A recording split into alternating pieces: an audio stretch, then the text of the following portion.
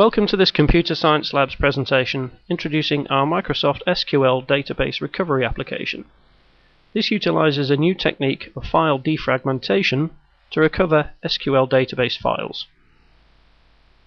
There are three types of files associated with MS SQL databases.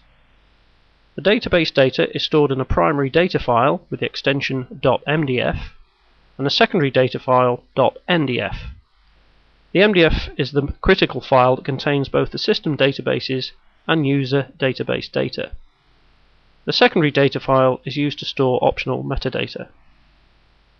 There is also a log file with a file extension of .ldf, but loss of this file does not affect the readability or integrity of the database data file.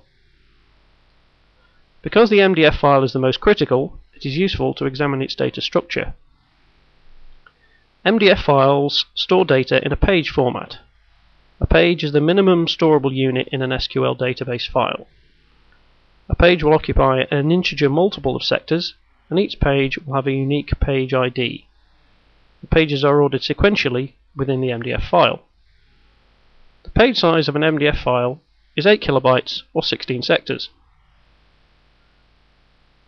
In a file system, a cluster is the smallest logical amount of disk space that can be allocated to contain a file. Typical cluster sizes range from 1 sector, 512 bytes, to 128 sectors, 64 kilobytes. So, if the cluster size is 1 sector, then the MDF page size is 16 clusters.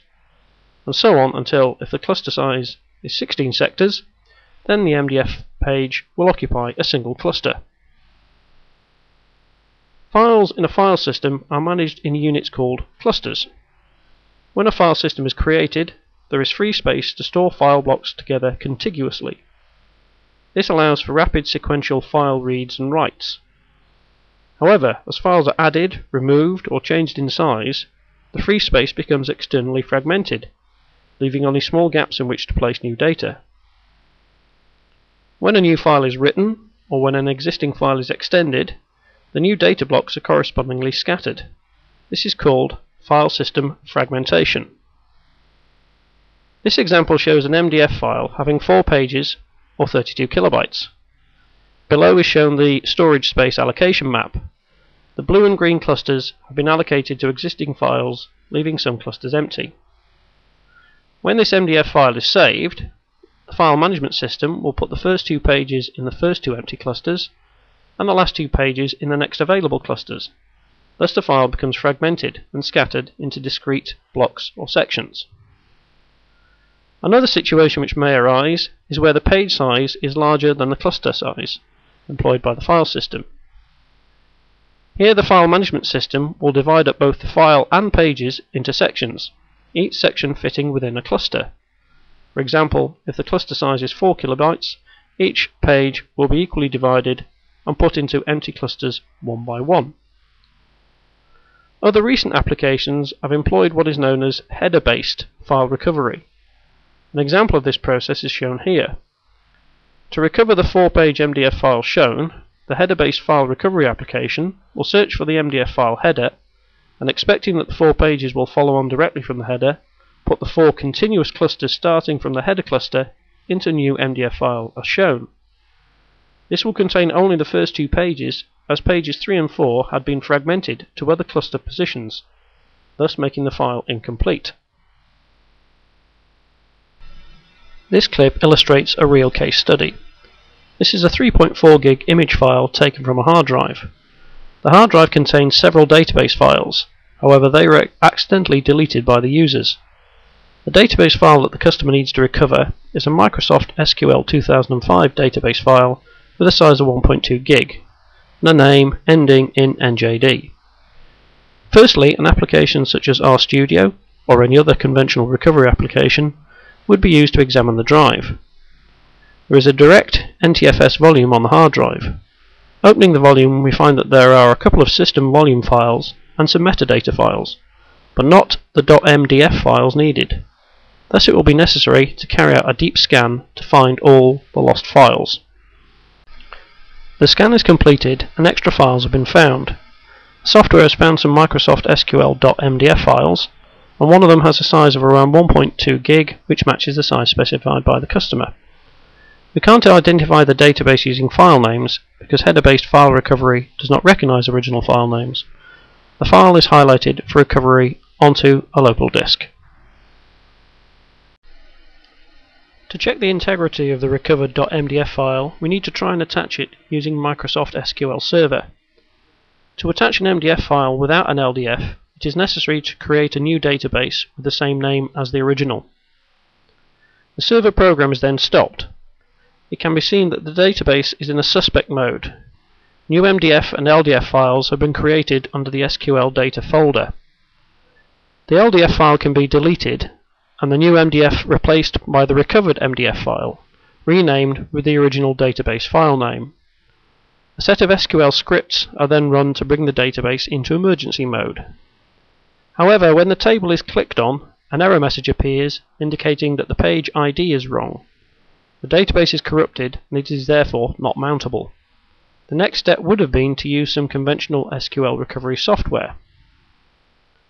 This software has attempted to repair the tables and export them back to a new SQL database. This was carried out, but on checking the table with the customer, they reported that there was a large amount of content missing from within the table. This indicates that though the table structure is good, most of the actual content inside the table is missing. The missing content is a result of file fragmentation. This is why, instead of using a header-based recovery, Computer Science Labs has implement, implemented a new technique to retrieve such fragmented files. Rather than losing fragments when the data is rearranged, the CSL MDF defragmentation technique will collect each fragment belonging to the file and reassemble them back into their correct arrangement. In this example, in order to achieve MDF defragmentation, the customer will first use the CSL SQL fragment scanning application to collect all the database fragments from their hard drive or image file. The source device is selected and a file name specified where the fragments are to be saved to. Scanning time will depend on the capacity of the source device. The resultant file will have the same file size as the total size of all the SQL databases stored on the device. As long as the file size is equal to or larger than the specific database to recovered, then there is a very good chance of recovering all the content of the original database. The scan result is encrypted. This will ensure the data security is not compromised during the transfer to CSL. It is also recommended that the file is compressed before being sent. In this case, the file has been compressed down from 1.6 gig to 400 megabytes. The resultant file can either be sent to us by, F by FTP, or if it is too big to be sent through the internet, it can be put onto a CD or DVD, a USB pen drive, or even a hard disk drive for mailing to us. Once we receive the file, it will be decrypted and the fragment analysis initiated to recover the database files. Eight sections of fragments have been found, and these have been shown to come from five different databases. One of these databases is that required by the customer. After further analysis, it has been found that fragments 4, 5, 1 and 6 belong to the database required, and that fragment 4 is the first fragment. Totaling the size of all the fragment sections would indicate a database size of approximately 1.2 gig, which matches the size specified by the customer. Next, CSL used the defragmentation technique to reassemble the individual fragments into a working and attachable MDF file. There is no need to run any other software to repair the MDF file recovered by the SQL defragmentation technique. The same procedure as previously detailed was used to mount the MDF without an LDF. This slide shows the considerable increase in the recovered database content that use of the defragmentation technique has brought about. The content was checked with the customer and found to be complete to their full satisfaction.